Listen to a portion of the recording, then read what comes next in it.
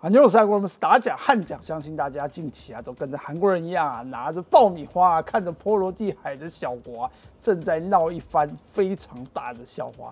尤其这小国啊，想要介入在中美的角力之中啊，那么遥远的一个国家竟然要跑来挺台湾。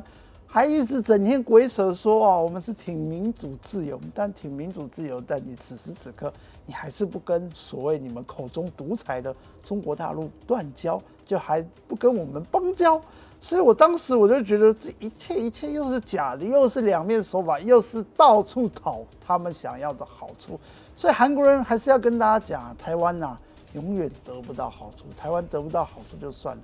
可能得到好处啊，都是这一些坐在上面高高在上的高官们。尤其你看到他们又在搞金钱外交，最后得利的会是人民还是这些高官呢？我们应该非常的清楚啊。而且啊，近期立陶宛啊，真的发生了非常多事啊。尤其啊，内部啊，为了要反中或者不要反中啊，已经产生分歧。近期非常多新闻，也就是说，立陶宛的总统跟他们总理产生了不同意见。然后啊，外交部长跟副部长啊，这几天有几个新闻啊，看下来也是怎么样，两个截然不同的一个表达方式。但是对韩国人来说啊，这个都是西方这些国家长期不是很爱用的两面手法吗？所以啊，各位简简单单的一个两岸的议题，韩国人就已经告诉大家，一切一切这些国家考量的不就是利益吗？那如果台湾真的相信民进党说我们。尤其对于跟立陶宛之间的关系突破的话，那我真的觉得可笑万分呐。尤其啊，我们都知道立陶宛总统啊，前阵子啊称台湾代表处啊是个错误啊，当时就已经引发整个台湾岛内的哗然。当时很多人都已经玻璃心碎，尤其喝着立陶宛的啤酒，吃着立陶宛的巧克力，是不是吃起来喝起来特别的苦？然后又加上啊，立陶宛总统啊，隔几天啊，又变成支持台北社畜啊，又惹意啊。当时内文就写啊，立陶宛总统瑙塞达斯声称以台湾为名，让台湾开设代表处是个错误啊，强烈影响立陶宛与中国大陆的关系啊。他六日啊再度表示啊，自己一直支持立陶宛与台北建立外交贸易办事处。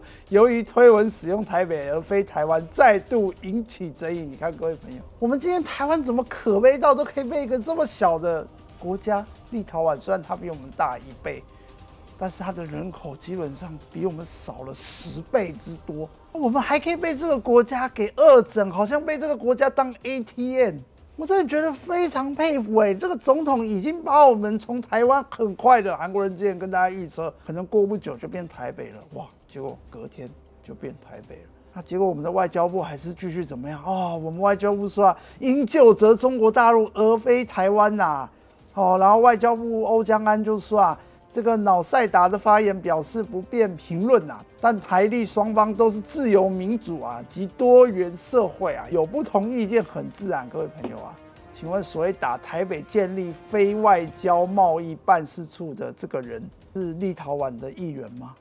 还是立陶宛的路人甲、路人乙呢？当然不是啊，是立陶宛的总统哎。我们的外交部怎么此时此刻还可以继续在骗台湾，然后还在那鬼扯什么？他说立陶宛所面临的挑战根源是来自于中国大陆行径啊，相关责任后果不应由台湾或立陶宛承担。我靠，各位，此刻立陶宛是跟谁邦交？韩国人每次都要讲这个，因为这才是 key point 嘛，这才是真的嘛。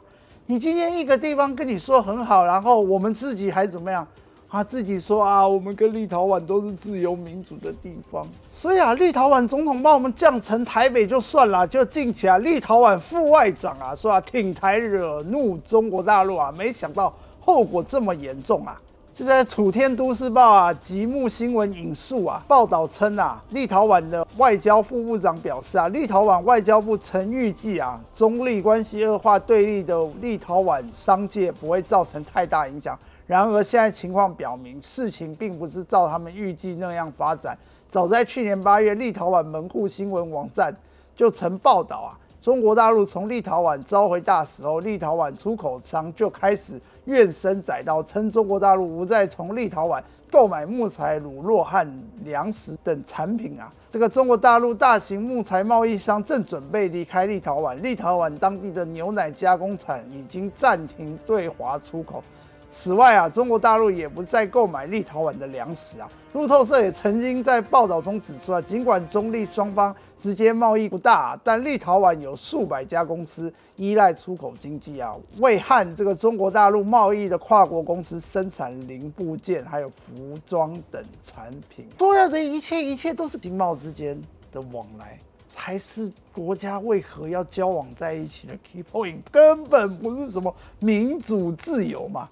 从立陶宛当时要挺台湾，韩国人就已经跟大家讲，这是假的，这是在骗台湾人。那对于民进党，他的政治利益就是拿来当做他的大内宣。立陶宛的副部长，你看都讲实话啦，对不对？都说我没想到后果会这么严重。尤其韩国人之前有跟大家讲一个最大的 key point 嘛，你们去看立陶宛，尤其他对于他们的出口。立陶宛最大宗的出口还是在俄罗斯嘛？那占它总额的十三点五趴嘛？那请问一下，现在俄罗斯是跟立陶宛是跟美国好吗？当然不是啊。现阶段我们看到的盟友也就是中俄友好，又加上立陶宛很头痛的白俄罗斯，那都是现在立陶宛主要出口的一个地方啊。所以我们当时就说立陶宛跟台湾八十七分像就是这样嘛。我们整天说我们要抗中保台，讲了一大堆，但是我们。最大的出口却是中国大陆加香港，那不是跟立陶宛超级像吗？而且俄罗斯现在跟中国大陆关系好，你立陶宛你能干嘛呢？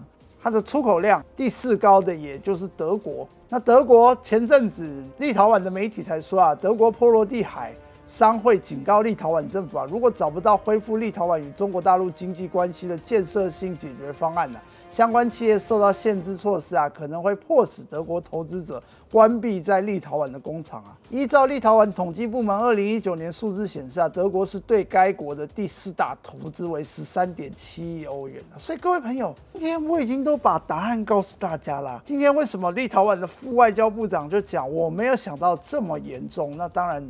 第一，我们当时觉得立陶宛会来搞两岸的问题，我们就已经觉得够蠢了。那现在终于承认自己蠢了，因为近期我们都看到立陶宛的执政党，他的民调基本上已经是跌跌跌跌跌到翻掉。那讲难听，他们根本已经在立陶宛有一点信用破产之下，现在才开始怎么样啊？觉得自己好惨，或者是立陶宛出口商就开始怨声载道了，就开始在那解释，现在哇，我们为了要反中。所以让我们立陶宛整个不安宁。但是各位，我要跟大家讲 key point 啊！我今天观察到中国大陆根本还没用半点力气，立陶宛就已经哀哀叫了。尤其韩国人当时才跟大家讲，哇，台湾义气相挺，两万立陶宛的莱姆酒。这到底是什么关系啊？是酒肉损友吗？然后到了近期又是怎么样？立陶宛一货柜的这个所谓奶水啊，卡关中国大陆啊，台湾厂商啊，甘甜啊又接手啊，你看一个货柜的奶水也可以拿来报。所以我们今天跟立陶宛的关系就是接收他一堆他出不去的货物，一切一切不就是他自己造成？他不是在之前要挺台湾，当时还非常嚣张，还不怕中国大陆吗？就现在到底是在干嘛？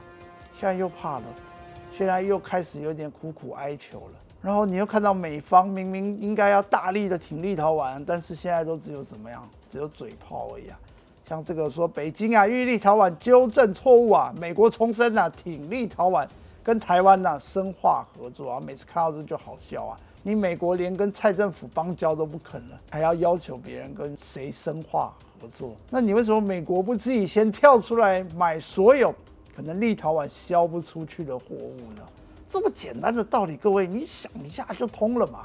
就在今天呢，新闻报超大，也就是立陶宛政坛分歧下，台湾再送十一融资大礼啊。然后内文就写啊，我们台湾的这个发展委员会周二啊，与立陶宛经济暨创新部啊召开。视讯会议啊，哦，然后啊，我方就表示啊，将提供十亿美元作为融资基金，发展台立经济合作项目啊。立陶宛啊，驻台经贸办事处啊，目标今年春天呢开始营运啊。你看各位朋友，我真的看到我都快掉眼泪了。请问一下，十亿美金融资，各位能换到什么？各位，这都是先花台湾人民的纳税钱。你看，台湾今天又开始在那搞阿扁当时的这所谓的金元外交。各位，马上帮大家回顾一下当时阿扁发生的超级大案子，也就是巴纽外交公款侵吞案。我们当时与这个巴布亚纽几内亚哦洽谈建立全面外交关系啊，但这个两方啊商议多次啊，巴纽无意建交啊，因此啊，我们的外交部啊要求中介者，也就是经济酒啊与吴思才啊退还暂存两人账户中的外交款项啊。然后这外交款项是原定建交啊，给予八国的外交援助款啊，但此外交援助款遭金还有吴两人侵吞啊，而且啊，这其中去介绍的人是谁？各位朋友，也就是民进党大佬邱毅人啊，当时他介绍经济酒与吴思才给外交部长黄志芳，也都是阿扁那时候执政的人。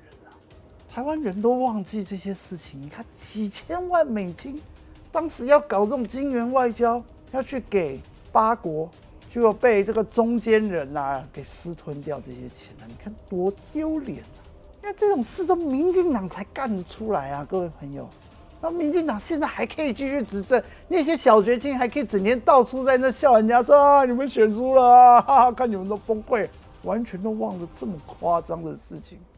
所以你看，蔡政府也不意外啊，因为近期可能怎么样哇，选举得到太多甜头了。反正八一，反正这些绿营的支持者讲什么鬼话都相信，讲什么鬼话只要扯到阿贡都是怎么样哇，全面出来投票之下，你看马上对于立陶宛现在有开始有动摇，开始现在出来 complain 说啊，我们这样做哦，我们跟中国大陆之间关系产生非常大的巨变，尤其对于我们国内讲完马上怎么样？就跟这所谓的八纽案一样，当时你看那个中间人经济酒那些，就把台湾人民辛苦的纳税钱就这样没了。所以各位，我今天看蔡政府，他根本不是想要打赢这个外交战啊，他今天只是想要继续再透过立陶宛在称赞我们拿台湾人民的纳税钱，然后去帮民进党做大内宣。是蔡政府最厉害的地方吗？最后，韩国人只想告诉大家，今天中国大陆不费吹灰之力，立陶宛就这样了。然后德国那些哇，尤其在立陶宛的这些公司都已经害怕自己。你们今天还期望一个立陶宛比中国大陆小到翻，连连德国都不敢这样对中国大陆了？那你觉得立陶宛会成功吗？那你觉得今天一个立陶宛挺我们，我们就能赢中国大陆吗？你们只要告诉我 yes or no，那你就知道今天我们跟他不管买酒、买巧克力，或者现在十亿美元的融资，还有接下来不管我们要对他们做多少投资之下，觉得这些钱花出去，最终我们收回什么？还是最终没成功？又是说中共的错啊？就是中共在从中阻拦。反正人民钱都花完啦，反正最后做不成，我们都知道答案就是怪中共嘛。就是现在台湾走到最悲惨的地方，尤其台湾人民又买单，真的，一个政府敢那么嚣张啊，就是有这些笨蛋支持者结束啊。